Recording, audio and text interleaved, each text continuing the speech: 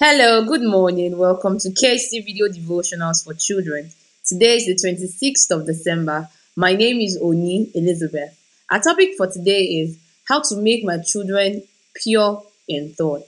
Matthew 5, verse 8, KJV translation.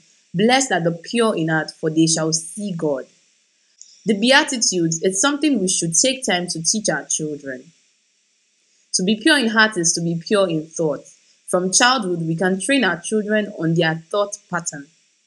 We can tell them what to think about by feeding them with God's word early enough. The fourth chapter of Philippians tells us a list of things we should feed on. It is not only meant for adults or matured Christians, but for everyone to meditate on. Declaration My children are pure in thought. The word of God guides and guards their thought pattern. Prayer My children are pure in thoughts in Jesus' name. Amen.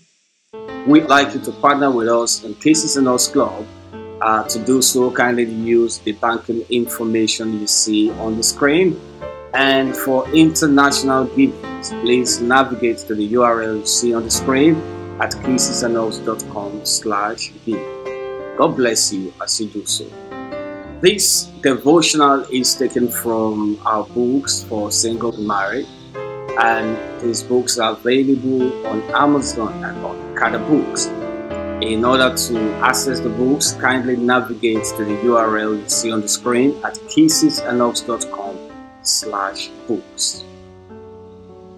If you live in the city of Ibadan, we'd like you to watch with us at Shouts of Grace Center. It's at Joker Plaza beside Trans Amusement Park, Bodija UI Road in the city of Ibadan. On Sundays, we have two services by 7.30 and 9 o'clock and by Wednesdays, 6 p.m.